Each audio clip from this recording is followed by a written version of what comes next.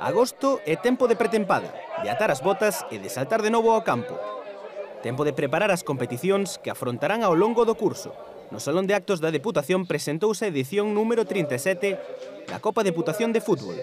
78 equipos masculinos e 6 femininos afrontarán unha competición que mantén o formato de partido único. Como principal novidade o cambio de data nos encontros masculinos que arrincarán xa en setembro, trasladando as roldas as xornadas de descanso e días festivos.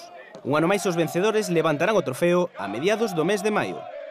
O sábado 31 de agosto e o domingo 1 de setembro tamén botará a rodar o balón na segunda Copa Deputación de Fútbol Sala. 18 equipos masculinos e 9 femininos completaron un cadro que coñecerá o gañador o 1 de novembro. Emoción e goles nunha nova festa do fútbol provincial.